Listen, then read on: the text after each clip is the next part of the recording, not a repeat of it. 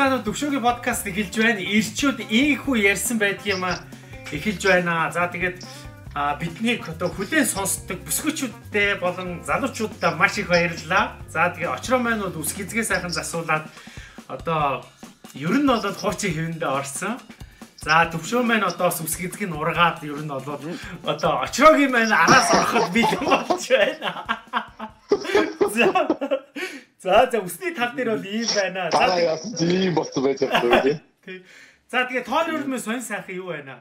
Оо над 50 тэгэл байж лаа да. Бүгдээрээ бид чинь хүндгөөл тэгэл хичээгээл байна.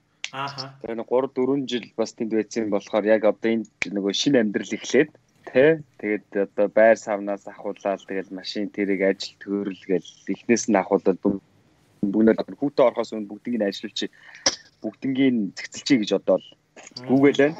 Зөв зөв. Ээ. За төвшөөгийн хувьд сонь сайхан наагуул чинь. Надад тайван сайхан онцгой Зөв зөв. Нөгөө найзынх нь юу н дууссан уу? Рестораных нь юм. Дуусах ер нь дуусах төхөөл байна одоо тэгээд нэг өсрөөл нэг 3 4 хоногийн одоо нэг баар хийгээл тэгэл баг дуусчихъя да. За за окей. За. За өнөөдөр шууд сэдв рүүгээ орвол яаж вэ? Та хоёр маань юу гэж бодож байна? Аа. Та хоёр маань юу гэж бод шууд сэдв рүүгээ орох уу? Эсвэл очроогоос за Монголдо ирээд тэгээд гадуур дотор явсан ямар санагдчихэв? Тэгэл яармаг л өөрчлөгдсөн байна. Бус нь бол тэгэл ерөөхдөө хөвөндөл л шүү дээ. Яармаг бол бүр танигдхан аргагүй болчихж бүр хараалаа гэлээ шүү дээ. Ааха. Тийш бол бүхэл бүтнийг хотолцсон юм шиг байгаа зү амар болчих би бүр хараад бөө гэж ямар гоц юм байж байгаа. Бас дээрээс нь их гой зохион байгуулалттай байрлалчд явагдаж байна. Ихэнх хороолоор нь орж үзлээ. Гэсэн ер нь л бол гаднах тогтчуулд зам зогсоол гэдэг ер нь их гоё шүү. Их зохион байгуулалт их гоё баригдаж байна. Аа. Тий. Тийм л юу байна доо. Танай гэр тэр хавцаа байна уу? Манай гэр тэр хавцаа. Аа яг ярмаг хавцаа. Тэгээ болж байгаа төвчээ бас эвгүй талтай ах шиг шүү. Ярмгийн төвчээ. Хичнээн бас өргөн замтай ч гэсэн ер нь бол ажлын цагаар 8-аас ахуулаад ер нь төвчээ бол бас төөрхөн болчтой юм байна гэж бодод байна. Одоо 9 сараас хичээл ном эхлэх юм бол одоо яана л гэж байна. За өнөөдөр хинээс хэлэх үү сэдв? Очроогоос эхлүүл яаж вэ? За тэгэж та. За Өнөөдрийн би сэдвэр нэг юм юу яаж авсан юм аа, нэг юм авсан юм аа, мартчихлаа. Өө чи ороод ирдэг шүү. За, төвшөөгийн бэлэн байна уу? Ханзахад нь мань эхэлчихв. За тэгээ. Байна байна байна байна байна. Аа. Урдны дугаар дээр төвшөө чи яриад ирсэн шүү дээ нөө юуныхан зэд үеийнхэн дэлхийн хүн болно гэлөө. Тий. Тэгээ тэгээ би одоо миний асуулт бол тэр дэлхийн хүний тухай байна. Би ерөөсөө надад бол ямар хариулт алга цаоёр ойлгох. Дэлхийн хүн гэж одоо яг ямар хүн яадаг хүн нар би нэг би ямар нэгэн ойлголт бол юм. Тойрын бодлоор гэдэг юм уу эсвэл уншнаар гэдэг юм уу элтийн хүн гэдэг ямар хүнийг яриад ямар хүний тухай зөвлөх тавьчаад тэгж одоо ажиллаад ч гэдэг юм уу сураад ч гэдэг юм уу байгаа болоо гэдгийг л их сонирхож байна да. Дэлхийн хүн дэлхийн хүн гэдэг л одоо нэрээ бас яг цагаад тулсан чи өмнө нь бол яг угаас нөгөө үгийн сан дандаа дэлхийн хүн дэлхийн хүн гэж ярьдаг. Тэгээ яг нөгөө цагаад тулаад дэлхийн хүн гэж юу вэ гэхээр бас нэрээ юу ч юм бол гэж сая бодогдлоо. Яг зүгээр өмнө юу гэж боддог байсан гэхээр дэлхийн хүн гэхээр тэгэл нөгөө дэлхийг өөрчилж чаддаг ч юм уу тийм ээ. Дэлхийд алдар нэрээ зурвал цуутай болгож чадсан хүнийг л дэлхийн хүн юм болов гэж боддог байгаа байхгүй юу? Аа. Тэр одоо Элон Маск жишээлбэл дэлхийн хүн, Майкл Джексон бол дэлхийн хүн тийм Ер нь бол энэ дэлхийг бол өөрчилж штэ эднэр бол тийм ээ. Аа. Хичнээн бүр нэр алдарт гараагүй ч гэсэн одоо тэгэл техник технологи хөгжсөн тэр газар одоо том том компаниг удирдах байгаа дэлхийг өөрчилж байгаа бүх хүн бүх хүн л ерөөсөө дэлхийн хүн болоод гэж бодоод байгаа байхгүй юу? Аа. Тэгэхээр одоо ихэвчлэн манай монголчууд өөр хүүхдүүдэд дэлхийн хүн болгоно гэж гадаадд одоо мундаг сургууль сургаа тэгээд одоо мундаг хүн болгоно гэдэг байгаа. Би бол тэгж л ойлгоод байгаа шүү дээ. Аа. Тэгэхээр ямар нэгэн байдлаар үүдийг авчрах хүмүүсийг дэлхийн хүн гэж үү? Тэ, ерөөсөө дэлхийг өөрчилж байгаа хүмүүс л одоо Facebook бол дэлхийг өөрчилсөн, Elon Musk дэлхийг өөрчилсөн, Bill Gates дэлхийг өөрчилсөн, тэгэл Эйнштейн ч дэлхийг өөрчилсөн, Чингис хаан ч дэлхийг өөрчилсөн шүү дээ. Тэгэхээр ерөөсөө тэр хүмүүс дэлхийн хүн юм болов гэж бодоод байгаа байхгүй. Зүгээр яг шууд утгаар нь ингээд бодоод үзэх юм бол би ч гэсэн өөрөө дэлхий дээр амьдарч байгаа учраас дэлхийн хүн шүү дээ. Аа. Тий, тэгэхээр ер нь бол дэлхийг өөрчилж байгаа тийм хүмүүсийг мундаг тийм одоо эрдэнтэй суутай хүмүүсийг дэлхийн хүн юм болов гэж би одоо бодоод байгаа шүү Зөв буруу юу гэхдээ бас сайн мэдэхгүй байна л да. Үгүй. Оо зөв энэ дээр одоо нэг зөв буруу гэхээсээ тий. Зөв буруу гэхээсээ илүүтэй зүгээр өөрсдийнхөө үзэл бодлыг л хуваалцсан дээр л те. А наад тий. Тий очромод болцсон уу? Эсвэл тий. би бас энэ дээр болохоор бас яг нэмж хэлэхэд бол тэр нөгөө нэг тэдний яриад байгаа юм нь болохоор хийж байгаа ажил нь бөгөөд а өөрсдийнх нь нөлөөлж байгаа нөлөөлөл нь өөрөө зөвхөн монголоор хэл монголын хэлээс одоо давсан байж аж энэ өөрөө би одоо дэлхийн хүн болно гэдэг имийг хэлээд байгаа юм болоо гэж би ойлгосон шүү дээ. А өмнө бид нар тэдний насан дээр байхдаа бол миний хийж байгаа ажилч гэдэг юм уу? Эсвэл бол миний сэтгэж байгаа сэтгэлгээч гэдэг юм уу? Эсвэл харж байгаа өнцөгч гэдэг юм уу? Бид нар бол Монгол Монголдоо л байсан шүү дээ. Яг үнэндээ бол тийм үстэй. Одоо бид нар 18 таа багтаа бол за би нэг миний хийж байгаа бизнес хятад нөлөөлнч гэдэг юм уу? Эсвэл австрал руу гарна ч гэдэг юм уу? Тийм талаар түүч боддгүйс. А тэгтэл өнөөдөр тэр Z generation-ийн чинь бизнесээ бодохдоо хүртэл энэний миний бизнес дэлхий рүү яаж гарч болох вэ? Би дэлхийд гарсан бизнес яаж хийж болох вэ? А миний хийж байгаа ажил өөрөө дэлхийд өөрөө ямар нөлөө үзүүлэх үү? Энэ талаасаа л тэд би бол дэлхийн хүн болно гэдэг имийг л яриад байгаа юм болов гэж ойлгосон. Тэд нар ч гэсэн өөрсдөө яг энийг бол энэ талаас нь тайлбарлаж хэлжээ лээ. А миний одоо бодож сэтгэж байгаа юм бол монголоор хязгаарлагдахгүй. Азаар хязгаарлагдахгүй тий. Бүр дэлхийд нөлөөлөх үйц ийм юмар одоо хийнэ гэдэг имийг л яриад байгаа байхгүй. Тэгэхээр өөрсдөө би дэлхийн хүн болно гэж харж гин гэж хэлээд байгаа тэр юм бэл. Яг гэхэд тэдний нүдэн дээр чинь одоо хиний очроогийн хилээд байгаа тэр Элен Маск, Зүкербергч гэдэг юм уу те эсвэл бол тэр одоо Амазоны тэр нөгөө нэг хазан толгойтой хүн өдөр чи өөрсдөө ингээд ажил нь өөрөө бүр дэлхийн хэмжээний нөлөөлөх хүч юмнууд хийгээд байгаа учраас яагаад би болохгүй гэж яагаад Монголын локейшнаас тийм хүн гарч чад болохгүй гэж тэр болцоо нь бүгд интернетэд байна штэ. Тэгээд тэд нар чи өөрсдөө өөрсдийнхөө бодож хийж байгаа ч гэдэг юм уу өөрсдийнхөө бизнесийг зөвхөн Монголын 3 сая хүнээр харах биш. Одоо бүр адгалжил өвөр Монгол руу өдр харцсан байгаа байхгүй. Хятад руу харцсан байгаа байхгүй. Хоёр хөрш рүүгээ харцсан байгаа байхгүй. Тэ? Аа. Тий, тэгэхээр чи тэр улсуудад чи зөвхөн монголчуудаа зориулж бизнес хийж гэдэг монголчуудаа зориулж юм хий гэж хэлж болохгүй болчиход байгаа байхгүй.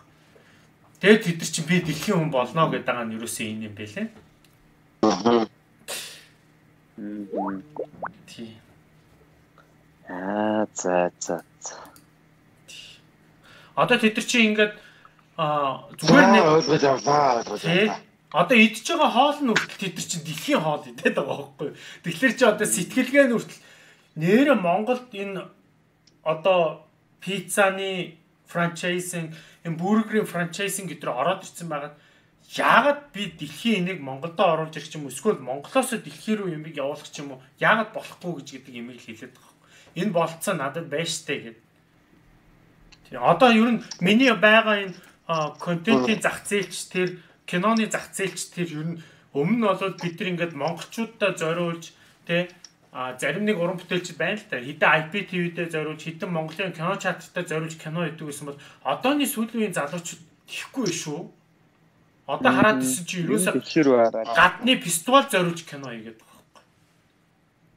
Тэгэхээр чи эдгэр чинь би хийж байгаа юм маань нүртэл би ингээд дэлхий одоо тэгээд тэр нь хэрвээ дэлхийд үнэлэгдээд ингэчих юм бол тэр чинь дэлхийн хүлээн зөвшөөрсөн хүн болчихж байгаа байхгүй.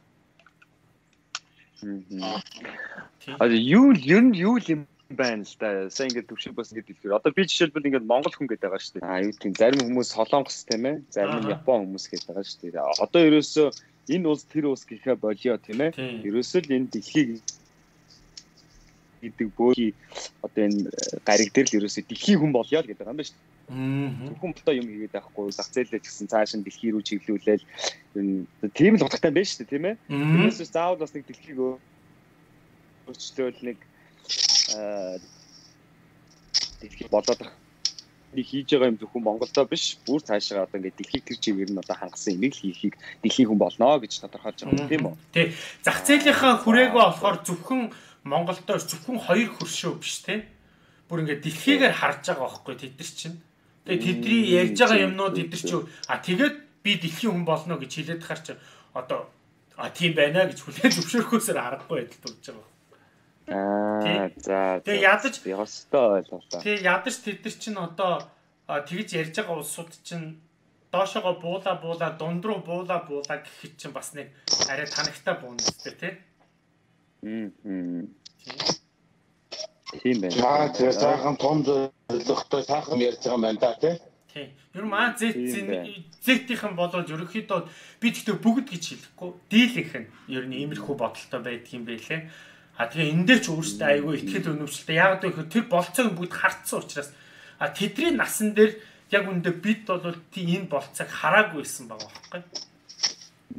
Яг зарим нэг нь болоод мэдээж харсан байсан улсууд байсан байх л та. Тийм байна. За тэгээ юу энийг харахтаа мантай л байсан байл. Тэ. Тий. Тэмээ төвшөөгийн хувьд ойлгож байгаа. Би харин юу бодоо бодоо ерөөсө бодоод олохгүй байсан. Яг яадаг юм болоо дэлхийн хүн одоо яадаг юм бол гэж бодоод байсан. Одоо нэр австрал тийм болоо одоо юу гэдгийг дэлхийг өөрчлөлтөнд ямар нэгэн оролцох хүсэлтэй хүмүүс байдаг юм уу те Эсвэл бол бид нар нэг дэлхий дээр амьдарч байгаа болохоор одоо дэлхийн хүн гэдэг утгаараа ч тэгж ярьж байгаа юм болов уу гэд би наадаж бас хэсэг бодлоо энэ дэлхийн хүн гэж одоо юу байдгийг болоо гэд өөрөө л хэсэг бодох шиг дээ. Тэгээд яг нэг тийм өлтөгтэй та нэг ийм л юм байна да тийм л юм байна да гэсэн гаргалгаа гаргаж чадаагүй тэгээд тоо хоёроос асуу юу гэж бодохгүй.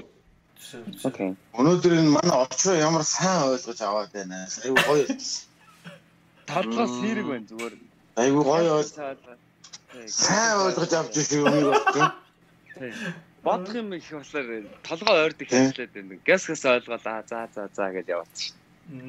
Яг тийж харагдчихээн шүү. Чамаас ойлгож байгаа гэж хараад би өөрөө бүр гоё ойлгомоор санагдаад.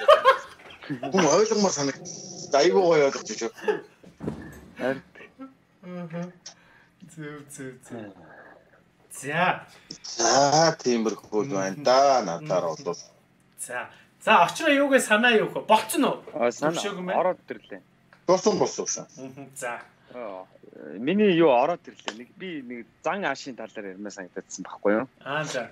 Тэгээд хинэггүй зан гэж яг ямар зан гэлээд байгаа. Тоор өөрсдөө хинэггүй зан одоо тоорт байггүй. Хэр хинэг хинэггүй зангаар зангийн талаар нэг яриач бас энэ ч бас нэг хүний нэг зан байгаад байна да яах вэ? Яах вэ гэдэг юм уу? Аа байна. Ер нь жоохон хинэггүй. Аа. За. За хэн нэг хэлэхгүй аль төвшөө нэг хэлэхгүй. Аа аль ч яах. За захирлаараа та За. Аа энэ хинэг хинэггүй зан гэдэг байгаа шүү дээ тий. Тий. Тий, тэгээд миний бодлоор бол энэ хинэггүй зан хэрэг огт хэрэггүй зүйл мөн үү гэж бодохоор бас хэрэгтэй үедээ хэрэгтэй юм байлээ. Аа тэр юун дээр харагдсан бэ гэхээр одоо ингээд тэр тусмаа ирчүүд бидний амьдрал бас нэг айл гэр толгоолж явж байгаа юмн дээр заримдаа нэг ингээд нэг тийм яг энэ занг ашиглаад энэ одоо ашиглан гэж хэлэхээр бас жоохон хэцүү юм а тийм яг юм хинэггүй байдлаас ч юм уу иймэрхүү юмнаас бас нэг бас заримдаа онсон тал байгаад байдаг хгүй миний л хувьд шүү. Тий. Тий. А тэрнээс биш байнга бүх юмн дээр хинэггүй ч гэдэг юм уу хайхрамжгүй за тиймэрхүү байх юм бол энэ чинь амьдралаа алдсан зүйл болох бах. Ёстой л нөгөө нэг нөгөө нэг юугийн л тааруулж явах ёстой юм шиг санагдсан. Одоо нэг тонгийн тааруулж. Тий тэрнээс биш хүнд тэр тусмаа эрх хүнд болвол юм хэнэггүй зам байж болохгүй гэд энийг бүр огт авч хийж бас болохгүй. Өшөө хинэггүй гэж ямар зан хэлээд байгаа одоо юу хинэггүй гэдэг. Одоо нэг Одоо чам аа тэр тэр яг тодорхойлтыг хэлээд байгаа юм шүү дээ тий. Одоо хинэггүй Тий. нэг тодорхойлооч ээ юу гэх тий. хинэггүй. Энэ энэ аягүй хинэггүй залуу. Тэгэл нэг би. Аа. Миний бодлоор бол энэ хинэггүй гэдэг нь бол нэг тийм юмд нэг үл тоосон ч одоо хүнээс гарах emotion нь шүү дээ тий. Үл тоосон, үл сонссон ч гэдэг юм уу, тийм хайхрамжгүй тийм байгаа байдлыг л хэлдэг юм болов хинэггүй гэдэг нь. Мм. Тий. Үл тоосон хайхрамжгүй. Хайнг. Одоо хайнг гэдэг гэдэг. Хаан. Тэгээ би одоо хувьдаа тодорхойлж хэлээгүүл хинэггүй тэгжил тодорхойлж хэлмээр байна. Тий. А гэхдээ нэг манай Монголд одоо чи өөрөө харандаа нэг тийм хинэггүй ирчүүд, тиймэрхүү ирчүүд бас нэлээд харагдан да. Зам дээр одоо тэр тусмаа жолоо барай явж байхад бол чамд харагдана. Мм. Би бол тэгжил тодорхойлж хэлмээр. За, окей. Болцсон төвшөө дөрвөл. Тий. Зүгээр тодорхойлтын хувьд бол. Тий. Тэгээ цаашаа төвшөө маань хэлэх байлгүй те. За, төвшөөнийг хинэггүйгийн талаар. За би одоо хэлье та. За, хинэггүй зан гэж бол одоо ингэ сая тойловчиг харсан өвээгүү тоомжгүй зан гэсэн байна.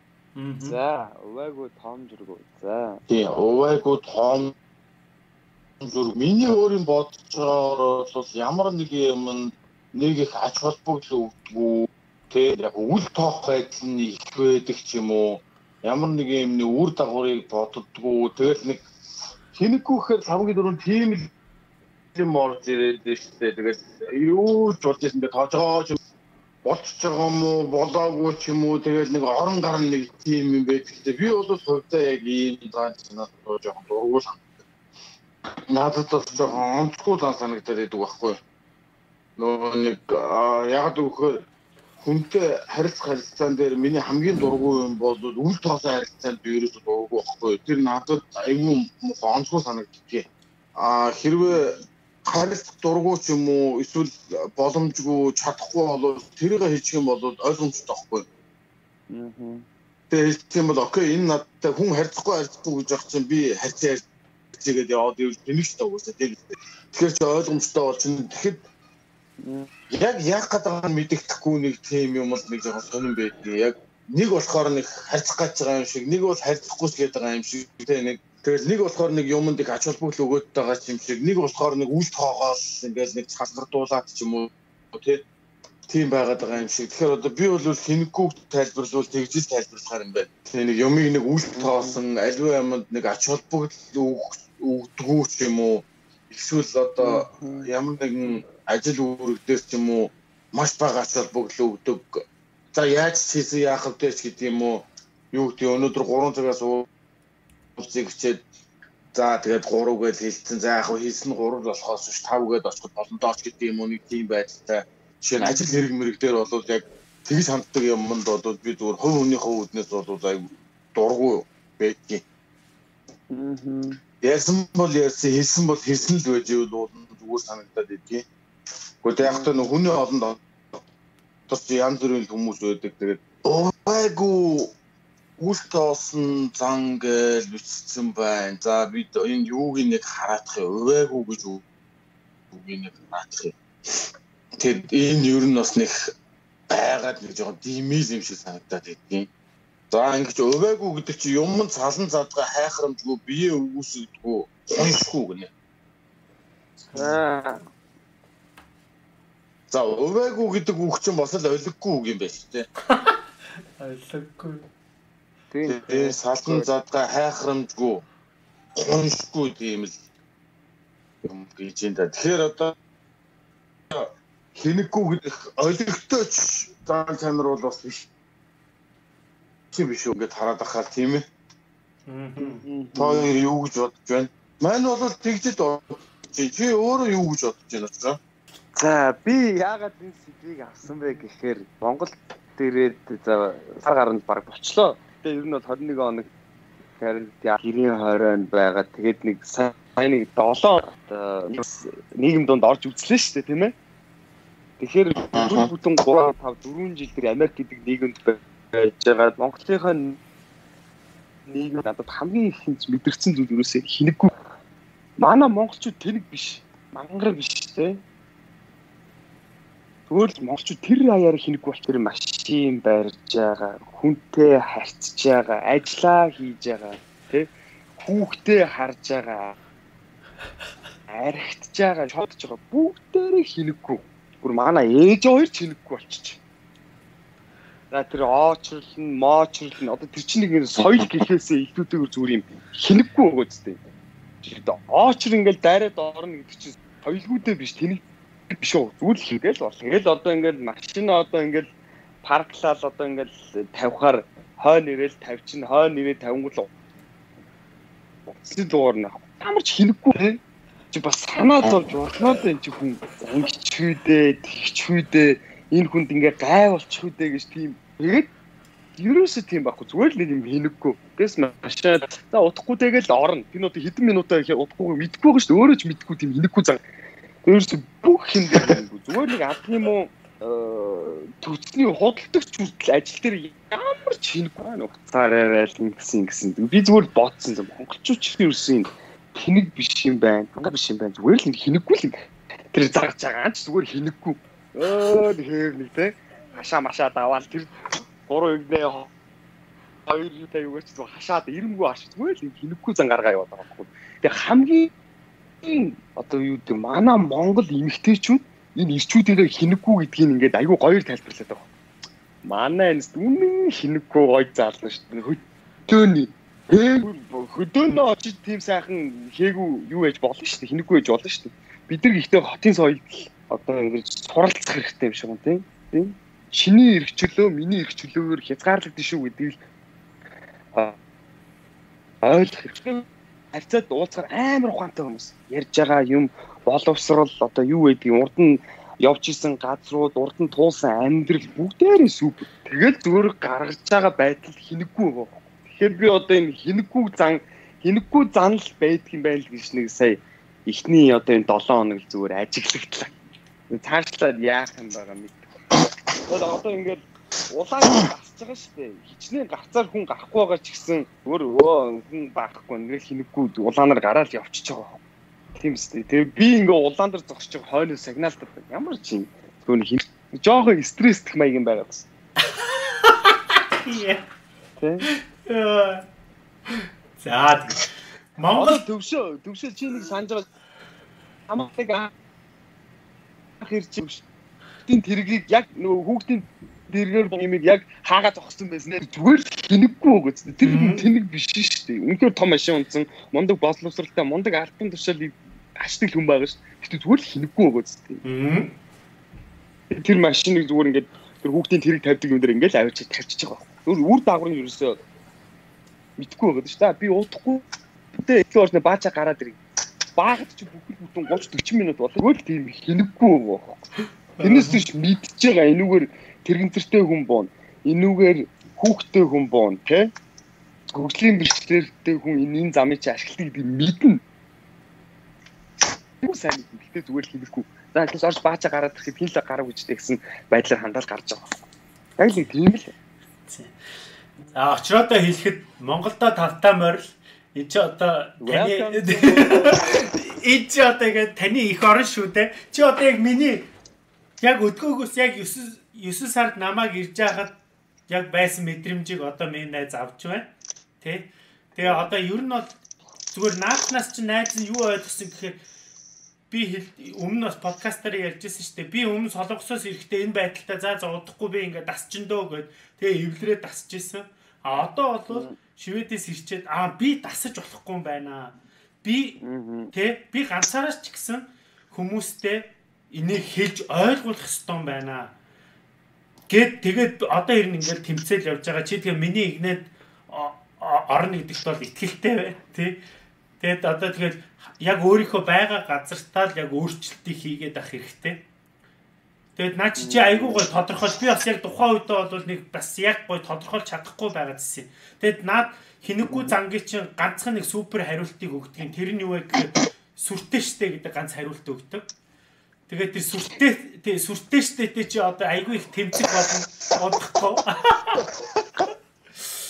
Тэгээд одохгүй наад сүртээнүүдтэйгээ айгүй их тэмцэлтэн. Гэхдээ бити шантраараа миний өгшөө. Тэгээ хоёлаа хамтдаа өөрчлөлтийг хий. Тэгээд бол гэхдээ ер нь бол айгүй их залуучууд нөгөө бидний нөгөө өмнөх сэдвтэ ярьсан Z-ийнхэн чинь бол чи бит хоёртай хамт байгаа. Z-ийнхэн бол энэ байдлыг маш сайн ойлгож байгаа. Z-ийнхэн хотоо соёлтой болгохын тулд Монголоо гоё болгохын тулд одоо Z-ийн энэ улсууд дийлийнх нь байгаа. А бидний үеийнхэн бол дийлийнх нь бол нөгөө жоохон нэг тийм боловсролтойг боловсролтой, мэдлэгтэйг мэдлэгтэй. Гэхдээ нөгөө юу үеийнхэн одоо чиний нөгөө хилээд идэг хинэггүйхийн хинэггүй хүмүүс бол бидний үеийнхэнд маш их байгаа. Тэгэхээр бол бид нар л өөрсдөө энэ дээр бол айгүй сайн ингэж үзүүлж яж миний өгшөн болохгүй. Чааг ухаантай, мэдлэгтэй, мундаг албан тушаалтай гэдгийг чинь мэднэ. Гэтэ миний өгшөн хотын соёлд суралцаа гэдэг ямиг бол айгүй сайн ойлгуулж одоо ингээд сайн хүчин зүтг яа Тэгээд дахин welcome to Mongolia гэж хэлье да. Баярлалаа. Би нэг юм нэмээд хэлчихв. За тэгье. За тэгэж. Саяны юм дээр чи би бол хэн бүхээс илүү манайхны амиа бодсон арай их үгүй юу? Би тэгж хаад идэв. Ааха. Өөрөө болж ивэл бусад хүн хамаагүй. Тэг. Тэгэл яриад хүний машины ард тавьж тэгээд уцтаад хэлэх юм бол өөдөөс пэш агаар нь дуудаа загнаад байна. Өөрийнх нь машины артал номер нь гарахгүй өдөр яг номер нь гарахгүй машин аваачаа тавьчих. Номер гарахгүй ч гэсэн би машина чөлөөтэй байлгамаар байна энэ гэж утастаа томроод байна.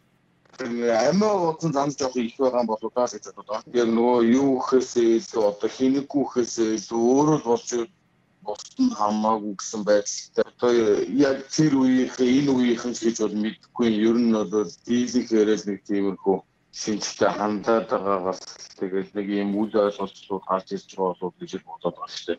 Тэгээ одоо манайхан бол бие биендээ жоохон ч ихтэй хайртай баймаар байна. Бас яг цам шиг айдтай амьдарч байгаа гэдгийг л ойлгох хэрэгтэй байна тий. Бүгдээрээ л адилхан ажилтаа байгаа, бүгдээрээ л завгүй байгаа, бүгдээрээ л бүх юмыг яс хийх амжилттай байгаа тийм бивийн нэг юмыг ялдуулах боломжийг бас гаргаад өгчүүл зүгээр л юм шиг санагдаад байдгийг. Тэгэхгүй манайхан ч болж л өгвөл өөрөө л ялдуулах гад л идвэстэй. Газ ороод ирэх оронд юу сүртэй мүү пэй вэ чи маа чи гэж. Тэгэхгүй тэгэл нөгөө хэддээ ч бас нэг газ ороод ирэх хугацааг нь үлдээчихэл байвал тэгээд уул нь болчиход байгаа. Та тэгвэл үйл ойлголцоод байхгүй. Уул нь монголчууд ч бас харьцангуй их гоё уужуу хүмүүс шүү дээ. Тал том тал нутаг дээр амьдардаг тийм ээ. Бид нар ч бас гоё сэтгэлтэй, хүнд гоё сэтгэл гаргаж чаддаг. Сэтгэл гаргуултаа харж байна уу, шарж байна уу, гадаач байна уу, дотоорч байна уу хамаагүй бид нар бие биендээ хаач байхгүй гоё сэтгэлийг ер нь монгол хүмүүс гаргадаг шүү дээ. Тэгээд яг жоохон жоохон хайх хүмүүдгээр нь харьцаад ах юм бол тэгэл хэдүүлээд жижиг сажиг юм дээр ч гэсэн яахгүй тэгээд бөхөмдөхгүй айтайхан байцгааж болох л байлгүй тий. Аа гэж л бодож байна доо. Одоо ингээд очраад би саяхан нэг айгүй тийм нэг сонио ажигласан юм а хоёрт нэг зүгээр бонус болгоод энэ сэдв дээр нэг ярьчихоо. За. Би нөгөө имлэгт ингээд нөгөө үзүүлэх гээд сая очр аваад ингээд суулаа. За тэгээд нөгөө за миний очер ингээд нэг 25 6 болчихж байгаа байхгүй юу. Тэгээ миний урд 25 6 хүн байгаа байхгүй юу. За тэгээд би за за нөгөө номер нь гараал ингээд дуудаж байгаа юм чинь. За тэгэл ингээд хараал ажиглаал ингээд байж хахад тэр очрын урдуур дайрч одоо тэр дуутахаас өмнө те завсар зайгаар нь дайрч газ юм асуух тэр самбаг ямар сүрхий одоо боловсруулж тэр хүнээс бүр яахын аргагүй газ асуултаа асууж амжиж чадаад байна. Энэ бас тэгж байгаад айгүй мундаг чадвар байгаад байгаа шүү. Тий. Одоо ингээд нэг номер одоо нэг номерын хүн үйлчлүүлээд дуусч байгаа байхгүй юу? Тэгээ хоёр номерын хүн зарлахаас өмнө газ нөгөө хүн дээр чи очиод бүр нөгөө хүнийг дараагийн хүнийг дуудах тэр конопыг дарахаас өмнө газ ингээд бүр татгалцахын аргагүй хариулт асуугаал нөгөө хүн ингээд конопо дарахгүй хүлээж ирсэн аа тий тийм тийш яваад ингээд гэдэг өөрийгөө хит хит хүн ингээд араас ингээд орчих гоч надад ингээд мангар сонирхолтой хүлээлт болчихж байгаа байхгүй Тэгээ тэрийг ингээд сүүгчилж олж тэр нарийн тэгэж асуултаа газ голгуулж асууж хариултаа авна гэдэг чинь бас бас нарийн ухаан байгаад Европтод хизээж тэгэж нөгөө номер тэр авсан хүний голоор орж тэр нөгөө нэг үйлчлэгээ авна гэсэн ойлголт байхгүй. Тэгээд нөгөө арын хоёр номерын хүн хүртэл гээд бүр ангаагаад ингээ за газ газ хариултаа авчихаа чи наач айгуу жохол юм байна гэдэл нь асуулт асуучих байгаа байхгүй юу. Тэрийг чи ажиглаад хараараа заяа. Тэр өст айгуу сонирхолтой. Өө аби ажилласан ажилласан. Сая чи нөгөө хэд хоног нөгөө хоёр машин ирээд тэр хоёр машиныхаа нэг гайл майл тэгээд баахан явж байгаа шүү дээ. Тэр чинь бас улсын том гайлаар явж байгаа шүү. Тэд бол оочр дайрал яг чиний сайн хэлээд байгаа газ нэг юм асуучи гэж хэлж байгаа ажил. Одоо бүр супермаркетд хүртэл би ингээд зогсож байхад би нэг тавхын бичүүлээд газ гарчих гэж байгаа байхгүй юу? Чи яарж байгаа би ч гэсэн яарж байгаа шүү дээ. Минийх 10 ширхийг юм байхад тэр хүнийх 5 ширхэг. Аа. Амар ч ялгаа байхгүй. Тэгээ би одоо бүр боо барьж байгаа шүү дээ. Заа нэг байгаа шүү дээ. Ер нь бол илэг авч шүү дээ ерөөсөө. Гоё. Гэтэ сонирхолтой яг л Монгол улс өөрсгцэн юу ч алга яг л хэвэндээ байна. 4 жил бол сайхан өндөр өндөр байшингууд баригддаг. Монгол хүн бол яг л хэвэндээ. Аа ийм сайхан амьдрал болж байна. Сайхан байна. Нэг фэйсбүүкээр сайхан уус төрчөөл тэгэл яг л хэвэндээ. Аа ер нь бол байршин барилгууд бол үнэхээр супер. Тэр цэвэр цэмцгэр байдал бол үнэхээр супер болж та маа нэг халуучууд тэр тамхины шүсээ хайдаг байдал нь цөөрсөн юм шиг үгээрээ. Дээрээс нь хүмүүс их мөнгөтэй болцсон байна. Ер нь бол худалдаа авах чадвар маш өндөр болсон байна. 4 жилийн өмнө 20 мянган төгрөг 20 мянган төгрөг байсан. Одоо 20 аа юу ч болохгүй шүү дээ дурак нэр аим шигтэй. Хүмүүс бол үнэхээр мөнгөтэй болсон байна л гэж би ер нь сая 7 хоног харлаа. Тэгэхээр бас тэрийгээ дагаад эдийн засгийн сайжирсан юм шиг байна. За тэгээ 7 7 хоногоор подкаст маань орох тусам очроогоос маань их сонин сонин юмнууд их сонсох байхаа төвшөөтэй.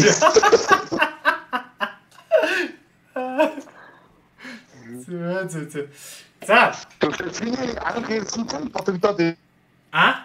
Чиний анх ирээд пост юмнууд чинь яг дараалалаараа яваад байна уу? Оо, яг ямар ч одоо гойрох юм яг дараалалаараа явж чинь. Тэгээд удахгүй тэгээд миний юм дээр ирдээ чи бол хүн байна гэдэг шүү дээ. Чиний ирээдүйн чи энд сууж саарл задстай. Тасаал ярьж шүү дээ. Гэхдээ энтэй юусоо эвдэрч болохгүй. Тий. Эвдэрхгүй эвдэрхгүй. Тий. А гэхдээ эвдэрхгүй гэд хүмүүстэй бас муудалцаж юусоо болохгүй. Айл болох гоё хэлээд тий. А гэхдээ жоохон муудалцах гад идэг улсууд нь жоохон бидний агаа игэнэр байдгийг. Зүгээр чамд инүүхэндээ хийхэд а яг гоё хүлээгээд ад өө тий өө ахаа уучлаарай гэдэргээд уучлалт гуйж чаддаг нь бол дүүнер маань байдгийг. Одоо зүгээр утас андуурах дээр хүртэл тийм дээ.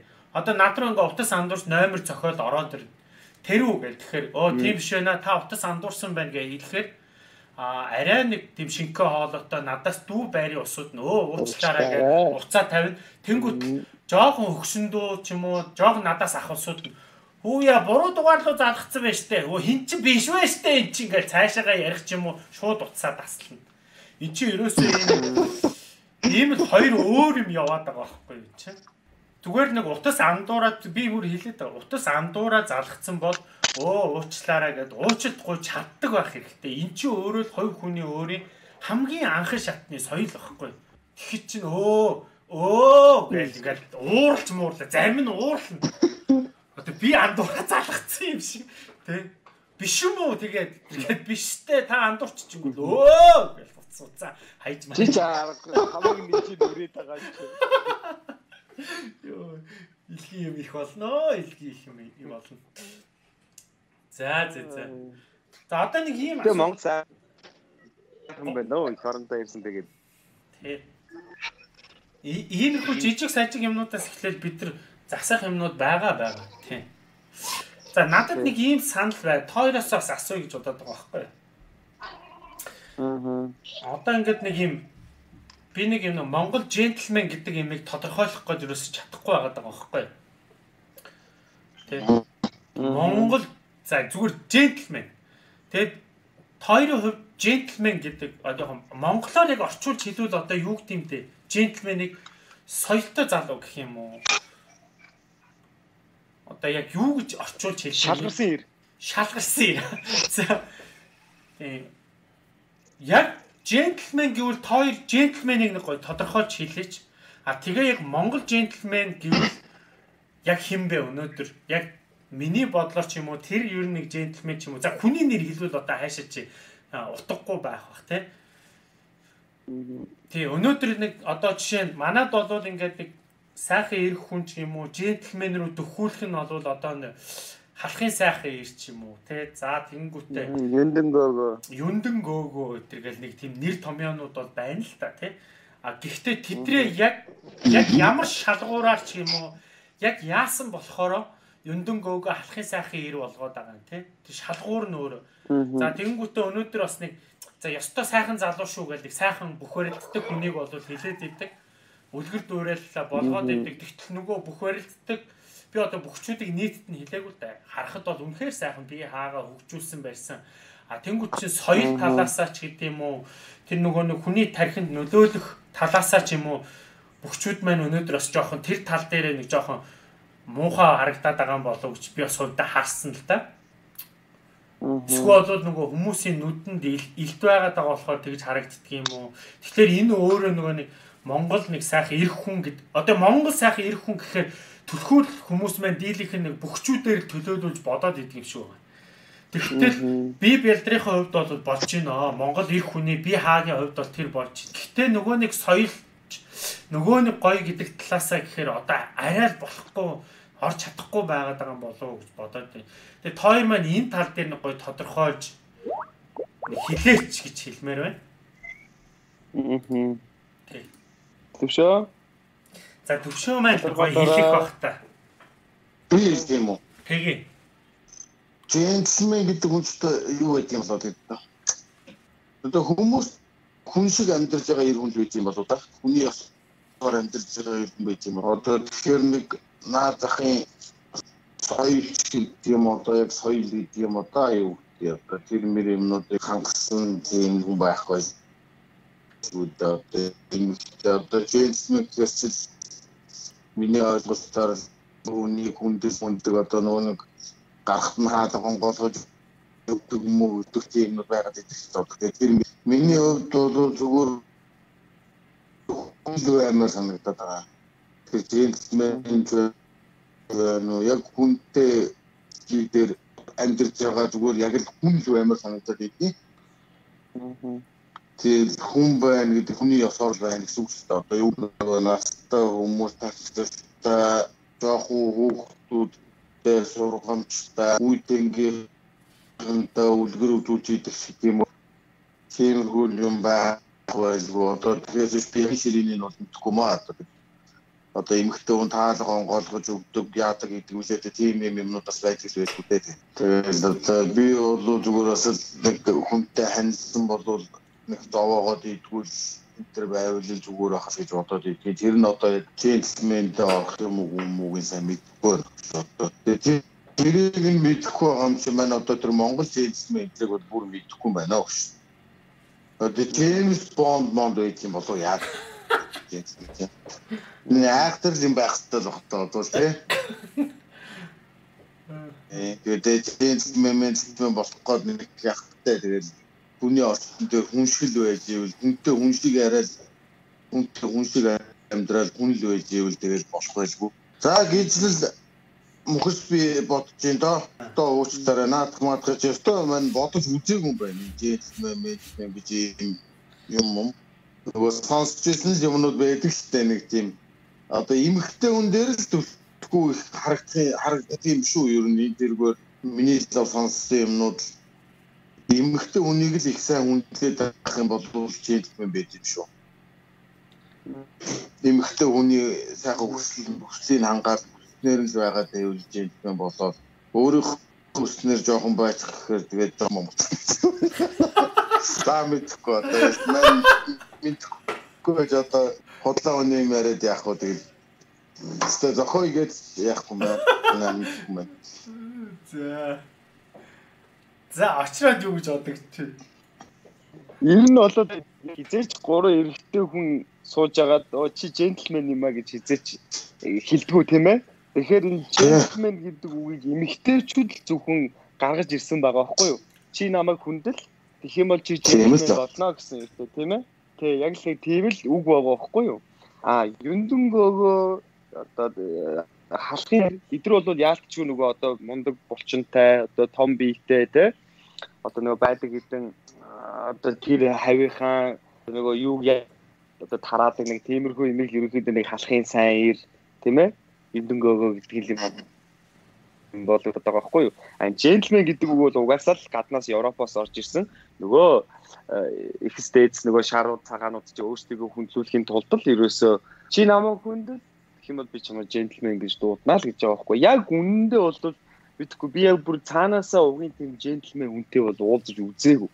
Тэгэхээр одоо юу гэдгийг найзууд дундаа бол угаасаа л нөгөө хитэн хараалаа урсгаа шүлсэн хаяал тавхиныхаа шиг ингээ шидэл тэгж байгаа ш та. Гэтэ яг эмэгтэй хүнтэй уулзгаараа джентльмен болдог залуучуудыг би бас мэднэ. А найзууд дундаа хизээш тэгдэггүй те. Тэр жирийн залуу эмэгтэй хүнд л хаалга онгоолох нөгөөс манд хаалга онгоолгож өгөхгүй шүү дээ. Тий. Тэгэхээр бол тэр чи яг эмэгтэй хүн дээр л одоо эмэгтэй зохиож гаргасан үг юм болов уу гэж би бодож. Тэр одоо юу гэдэг нь Монгол джентльмен гэж ямар байх хэвээр энэ Америк джентльмен гэж ямар байх хэвээр Солонгос джентльмен гэж ямар байх хэвээр гэж ялгаа өстой байхгүй. Эмэгтэй хүний хүндэл бол та эмэгтэй хүний джентльмен гэж дуудуулнаа л гэдэг юм гарч ирчээ.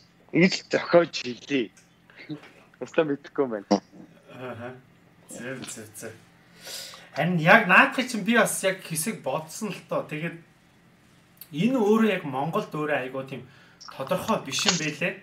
А тэгтэл одоо за тэр дундаа баруун Европт бол джентльмен джентльмен гэж ямар их хүнийг хэлэх вэ гэж одоо гудамжинд явж байгаа эмэгтэйчүүдээс асуух ч юм уу те. За магадгүй гудамжинд явж байгаа хүнээс асуухад бол Европод бол энийг бол маш тодорхой хэлчих болов гэж бодоод байна. Тэр юм англид бол те. За өнөөдөр тэгвэл Монголд годомжинд явж байгаа хүнээс джентльмен гэж ямар их хүнийг хэлэх вэ гэвэл нэг за мэдээж бүсгүүчүүд нь бол бас нэг өөрсдийнхөө өнцгөөс тодорхойлоод хэлэх бол а ирчүүд нь гэх юм бол бас яг одоо ингээд тойртой яг асуусан шиг ингээд яг джентльмен гэхээр бас тодорхой хэлж чадахгүй байгаа байхгүй юу? Тэ? Яг яахлаараач джентльмен болтой хаалга онгоолгоод харал джентльмен болчдөг юм уу? Эсвэл эмэгтэй хүнтэй гоё харьцаад байвал джентльмен болчдөг юм уу? Тэ? Тэгэхээр энэ маань өөрөө ирчүүд бид нар өөрсдөө нэг яг тав ингээд тодорхойлоод заах мэдээж тодорхойлж хэлдэг хүн байгаа бах л та. Гэхдээ одоо гудамжинд явж байгаа 19 хүнээс асуухад за миний хувьд бол 60-аас 70% нь бол яг энийг бол онж бас ингээ яг ингээд яг саяны бидний гаргаж ирсэн хоёр юмд тойрч хэлэх бах гэж би бодож байна. Тэ. Тэгэхээр өнөөдөр а тоор маань бас харж исэн болов мэдгүй надад л тэгж ажиглагдтыг ингээд бид нар Европт ч юм уу эсвэл бол гадны орн руу ингээ очихоор манай Монгол ирчүүд нэг тэдний ирчүүдээс ингээ ялгаад ялгаатай харагдаад идэх те харилцааны хувьд ч тэр соёлын хувьд ч тэр те тийм ажиглагддаг те? Ажиглагдана. Тий яг нэг тийм өөр эрэгтэй өөр орны эрэгтэй хүний хажууд Монгол эрэгтэй хүнийг арай нэг тийм нэг тийм бүдүү хатуунч гэдэг юм уу мэдгүй. Надаа нэг тийм ажиглагдаад байдаг байхгүй. Тэгэхээр өөрөө энэ нэг джентльмен гэдэг юм уу энэ ойлголт нь бид нар байхгүй учраас энэ харьцааны тал дээр ч юм уу байхгүй учраас энэ дээр бид нар ингээд нэг тийм өөрийнхөө муухарлаад идэх юм болоо да гэсэн надад тийм нэг ажиглалт төрсөн. Тэгэхээр энийг бид нар ирчүүдийнхаа дунд ирчүүдийн подкастаараа бид нар нэг жоохон нэг тийм тодорхойлж А ер нь бол нэг ийм байвал илүү одоо нэг юм яг нэг тийм Монгол джентльмен эрэг хүнийг нэг тийм бүрдүүлж болох юм байна нэг ингэж тодорхойлж болох юм байна гэдэг тодорхойлтыг хамтдаа гаргаж ирвэл гэж энэ сэдвийг би хөндөж гаргаж ирсэн. Энийг бол бид гурав тодорхойлохгүй л дээ энийг сонсож байгаа зөндөө олон мундаг джентльмен гэж өөрийгөө боддог ч юм уу. Эсвэл джентльмен гэж хүлээн зөвшөөрөгдсөн ирчүүд энэ тал дээр өөрийнхөө бодлыг нэлээд сайн бичээсэ а тэр тусмаа эмгтээчүүд амар сайн бичээсэ яг яавал та бүхний хувьд те джентльмен болох бай. Бүгдээрээ Монгол джентльменийг гоё гаргаж ирэл та. Монгол эрх хүнийг харьцааны тал дээр ч тэр бие бялтрын хувь дээр ч тэр аа найзуудтайгаа уулзж байгаа тэр усад соёлын хувьд ч тэр миний бодлоор яг ийм байвал өнөөдөр бид нар яг энэ талаа хөгжүүлвэл дэлхийд бид нар Монгол эрх хүн Монгол джентльмен гэдэг юм гарч ирнэ гэдэг тодорхойлтыг бүгдээрээ гоё босгож ирээ л та. Тэгэл тэрний төлөө бүгдээрээ явъя л та. Ирчүүд нь. А ямар тодорхой тий? Ямар тодорхойлтгүй ямар ч юм тодорхой биш учраас бид нар нэг тийм ингээл нэг тий? А хамаагүй шүлсээ хайдаг а хамаагүй найтаадаг ч юм уу? Эсвэл бол аа чинь Монгол ирэх хүн штэй ч гэдэг юм уу тий энэ нэг иймэрхүү юм ажиглагдаад яваад байгаа байхгүй тий ийм жоохон юмнаас жоохон тэр нэг муухай шүлсээ хайсан ч гэдэг юм уу тэр нэг муухай хүмүүсийн ажууд хэрхэрсэн ч юм уу тиймэрхүү юмнаас ч л нэг тийм нэг яг үндэ бид нар чинь гадагшаа гарахаараа төвшөө биш Монгол болчдөг байхгүй тий. Тэгэхээр Монгол эрэгтэй хүн гэдэг шууд нөө биен дээр зүгчдэг учраас тиймэрхүү юмнаас бид нар амар их одоо эх орныхоо нэрийг унгаагаад байдаг юм болоо даа л гэж би хувьдаа боддгийг. Тэгэхээр би бол хариулт хэлмээргүй зүгээр бүгдээрээ хамтдаа энийг тодорхойлъё л гэж уриалмаар байна. Тэгээ энэ бүсгүүчүүд сайн бичих баха. Тий. Одоос нь эмгтэй өндлөх таалагддаг залуучууд джентльмен гэж дуудах бах те. Одоо зан чанарт гэдэг юм уу үйл хөдлөлөөрөө үлгэр дуурайлаараа таалагддаг хүмүүс л джентльмен гэж дуудуулдаг. Тэгэхээр биш эрэгтэй үндэ таалагдаад их одоо ижил үүсдэг. Үгүй ээ ижил хүстэндээ биш л те бид нар төртл айгүй гоё ингээд харьцааны соёлтой ч юм уу эсвэл бие гоё явж байгаа эрэгтэй хүнтэй хамтар хамтарч бизнес хийх ч гэдэм үү эсвэл хамт ингээ юм ярихад бид нар төртл айгүй тухтай байдаг үстэй. Тэгээ энэ нэр үнэхэр соёлтой залуу шүү. А тэгтэл ингээд тэр заавал эмэгтэй хүн таалагдах албагүй байхгүй. Зөвхөн би яг тийм харилцаатай хүмүүсийг одоо энэ Европын ядуутнууд дотор байдгийн юм шиг надад санагдаад идэв. Энэ чинь бүр юм үе тамцын ядууртууд байгаа шүү дээ. Тэгээ эдрээс нөгөө амьдралын хөвшилд үүсэж байгаа орчин сурж байгаа зүйл нөгөө гэрийн боловсрлоос ахуулаад яаж харагдах вэ? Яг тийм хүмүүс бол энэ дээр харалцдаг шүү дээ тийм мундаг юм эсвэл бол тэр их харилцааны ойлтой хүн болж магадгүй. Ямар ч хүнтэй ямар ч нөхцөл таарсан аюу хайтайхан харилцаатай За би сая бодлоо. Тэгэхээр харин энэ джентльмен ч гэдэг юм уу юм харилцааны соёлтой ирчүүд зөвхөн Европч гэдэг юм уу зөвхөн гадаадад байдаг ш бас Монголдоо гоё те жуулчд муулчд ирсэн ч гэсэн бид нар өөрсдөө ч гэсэн Монголдоо тэл байгаа хэл та. Тийм улсуудыг аягүй их болгоё л доо те бүгдээрээ гоё тийм л болъё л доо гэдгийг л уриалах гэдэг юм. Тэгээд тодорхойлолтоо ихлэ зүг гаргачих юм бол аа ингэхээрээ ер нь бол джентльменүүд өгөх юм байна да гэдэг юм аа тодорхойлтол гоё гаргачих гэдэг. Нөгөө Америкт байдаг байхад одоо яг нэг гэр бүлийн хүмүүжлэр ээж нь хүүгээ джентльмен болгож өсгөдөг тийм ээ. Одоо ингээд хаалга онгоолоход хүртэл ladies first гэж хүүдээ ингээд захиж хилдэгтэй ингэдэг. А манай Монголд ч ерөнхийдөө юм дээр эсэргээр байдаг шүү дээ. Гэрийн тэргүүн тийм ээ. Хоол аягалж өгсөн ч гэсэн заавал гэрийн тэргүүндээ эхэлж өгнө аавын бүс одоо тэр юунаас ташаанаас доош байж болдгоо дээш нь 50 аавын одоо малгайг дээш нь яг яг уу манай Монгол улсын нэг ёс заншил байгаа л та. Гэхдээ бас тэгэхээр одоо юу гэх Америкт бол болж өгвөл ээжрүүл юм өгөөд идэг шүү дээ тийм ээ. Тод амьсан ч гэсэн ээж ээж нь галконд нэг оролцоод байх авал тэргүүр бөмбөгнөд идэг шүү дээ. Ээл хүүхдүүдээ өгнө, их нэртээ өгнө. Тэгэхээр бас ингээд хоёр улсын соёл нь бас өөр байгаа учраас манайхан бас жоохон джентл бай гэхээр бас чаддгүй байх л та бүр цаанаас бид нар багаас тэгээд өссөн шүү дээ. Ээж л аавыг хүндэн бид нар л аавыг хүнддэг болох болохоос ч гэхдээ яг аавч ээжийг хүнддэг илүү ингээд одоо тий дэний дээж аавдаа гинийга инг ингээд хахаар бид нар ингээд одоо аавыгаа аавыгаа ч тийм аавыгаа илүү хүндлээд байдаг. Америкт одоо Европод болохоор ээжигээ одоо пэйшнэр айгүй хүлээд сургуулаас нь ингээд ихтэй эмэгтэйчүүдээ гарга уучлаарай гэж чи яагаад эмэгтэй өнийг ингэж байгаа ингээд бүр тэр хүүгээ бүр ингээд ингээд надад бүр боддог ингээд тохируулаад ингээд бодоод байдаг байхгүй юу. Оо бүр мөө мөө ихтэй бүр эмхтэй хөгч өсгөөд байх юм. Гэтэ цаагаараа бас л яг нөгөө эмхтэй хүний хүндлэг джентл маягаар өсгөөд идэм шиг санагдаад байдаг. Аа. Миний бодлоор яг ингээд Монгол хэрвээ джентлмен гаргаж ирэх Монголд одоо джентлмен гаргаж ирэх гэх юм бол одоо жиг эрэгтэй хүүхдийг одоо голцоо ээж нь хүмүүжлэх бах та джентлмен болгож. Миний бодлоор бол яг энэ Монгол соёл нь яг энэ чиний түрүүний хэлдэг нөгөө нэг аавгаа хүндлэх, эрэгтэй хүнийг хүндлэх энэ соёл нь илүү их Монголд нөгөө джентлмен тэр ирчүүдийг бүрдүүлэх тийм болцоотой юм болов уу гэж бодоод байгаа юм. Манайх энэ нөгөө өөрийгөө хүндлүүлж байгаа энийг зүгээр харж байгаа хандлагаа л өөрчилчих юм бол тэр эмэгтэй хүн ч юм уу тэр ихнэр хүн нөхрөө хүндэлж байгаа тэр байдлыг бид тэр хандлагаа энэ намайг хүндэлж байгаа юм чи би энийг энээс илүү их хүндлэх ёстой гэдэг модуль дээрээ илүү тавьчих юм бол энэ өөрөө илүү их джентльмен бидрийг болгох юм болов уу гэж боддөг штеп. Тийм биз дээ. Төвшөө би очрог би хүндлэх тусам эргээгээд тэр хүн А энэ намайг хүндэлдэг чинь гэдэг нэг хүндлэлийг нэг а энэ чинь намайг ингэдэг чинь гэдэг манай Монголд нөгөө нэг тиймэрхүү байдлаас харьцангуй ч нөгөө джентльменд нь алга болчиход байгаа. Хүндлэгт ямагт бол тэгждэг. Хүн намайг хүндлэх тусам би яг эргээгээ тэр хүнийг төрнөөс илүү хүндэлчээр хоёрын хоорны харьцаа тэр юуны соёлын юу ингээд илүү гоё цаашаа явдаг тий. А манай Монголд одоо хүндлэх тусам ташаараа л яваад байдаг. Аа чи би хэрий эзэн А би гэрээ эзэн юм чинь гээл ингээл улам одорчихгоо улам ингэчих гээл тий. А тэрийгэл эсрэгээрээ хүүе энэ ихнэр маань намайг ингэж өрхийн тэргүүнэ гэж хүндэлж ингэж байгаа юм чи би энийг эргээгээд өшөө илүү хайрлах хэрэгтэй юм байна.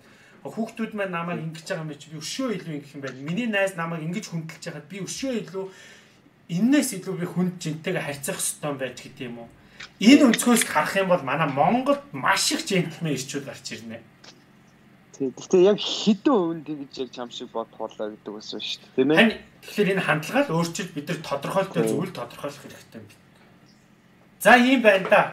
За энэ талыг сонсож байгаа бүсгүйчүүд маань өөрсдийн тодорхойлдог маш их бичээрэй. А тэгээд ирчүүд маань бас энэ тал дээр одоо бас бичээрэй. Бид хэдийг буруутгахаас илүүтэйгээр өөрсдийнх нь бодлыг бичээрэй. Би бас сонсож байгаа усуудад тэрийг хэлмээр идэх юм а. Төвшөөгийн ярьж байгаа зөв очроогийн ярьж байгаа буруу Монгол төвшөө ингэдэг тэгдэг гэж ярихаас тэр тэр өнцгөөс харахаас илүүтэйгээр миний бодлоор миний харж байгаа өнцөг гэж энийг илүү хуваалцаасаа тий? Энэчнээс ч бид нар дундаас нь юм шүүрж авна болохоос ш өнөөдөр бид хэдий ярьж байгаа юм 100% зөв буруу биш тий? Бидний гаргаж ирж байгаа энэ бүх одоо харьцаа энэ бүх сэдвээр төвлөрж фокуслж ярьж байгаа юм дээрээс бид аа ийм биш тэ тийм биш тэ гэж ойлгож авах нь хамгийн чухал баг. За за өнөөдөр ингээд дуусах уу юу гэж бодож байна? Тэгээд За тийм. Аа. За ингээд дараагийнхаа подкаст дээр эргээд уулзъя. За тэгээд очроод дахиад тавтаа морил ингээ одохгүй ингээ бүх юм сайхан болно. За тэгээд төвшөөдөө амжилт төсөй. Миний найз болгоомжтой байгаараа наавар чи бас байдал жоо хурцтмал болох гол байгаа шүү. За харин тийм шүү лээ тий. За за ингээд дуусгая да. За. За. За.